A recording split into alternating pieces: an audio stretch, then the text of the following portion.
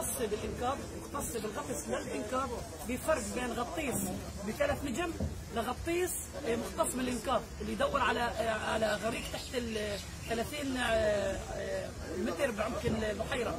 وهي بحيرة هي مش بحر فالعملية المطلوب إحنا دورنا وإحنا كل الأجا والكل اتطوع والكل ساهم والكل شد على حاله والكل بده رائد يطلع ما فيش حدا ما أجاش من مجتمعنا العربي. أنا بناشد الكل اللي يعمل ضغط إنه وحدة الإنقاذ اللي بالدولة اللي عاملين حاليا وحدة إنقاذ إنهم يجن تبعين ال- الغطس المختصين يجوا ي- يدوروا على رائد لأنه أنا متأكدة مليون بالمية إنه رائد موجود تحت تحت البحيرة لأنه إحنا دورنا بالسطح الطيارات ما خلوش ال- ال- المط- مطارات البحر ما خلوش الكوارب ما خلوش ما حدا ما دورش ما حدا كل الدنيا كل الشباب كل يعني خلص. اعملوا ضغط أنا بطلب من الكل إنه يعمل ضغط. كخبرة مني تعملوا ضغط لوحدة الانقاذ الغطاسين الم- المعروفين الدوليين اللي معاهم للانقاذ مش ثلاث نجم ونجمه ونجمتين مع احترامي للشباب. بدنا مختصين وحدة غطس للانقاذ كمان مرة بعيد وبكرر. وحدة غطس للانقاذ اللي تدور عمق البحيرة.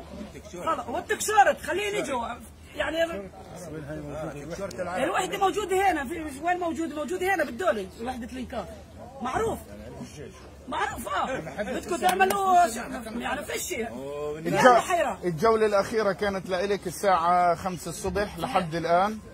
وانت لاحظتي انه موجود الاشي في العمق مش على جوانب لا لا البحيرة. فيش دورنا. على السطح دورنا على الجوانب. فيش فيش ما فيش حدا. يعني كل الكوارب هاي قدامكم. الشباب من المو- المواطير من من أربع أيام وهن بدوروا على السطح. طيارات كان أول يوم طيارات وهن عارفين الس- الكل يسأل ليش فيش طيارات. عارفين منيح منيح إنه رائد مش على السطح.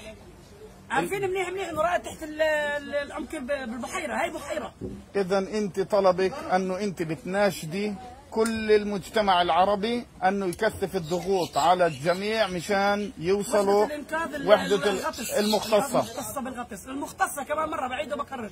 مع احترامي للشباب اللي جاي الغطاسين اللي بدهم يساعدوا. هن عارفين منيح منيح. إنه بالبحيرة عكره ومش ملائمه بالمرة للغطس المي مش نجم صحيح. نجمتين المي مش المي صافية. مش صافية. فهن مختصين بهاي الأشياء معاهن معدات إنقاذ حديثه يعني بيقدروا يشوفوا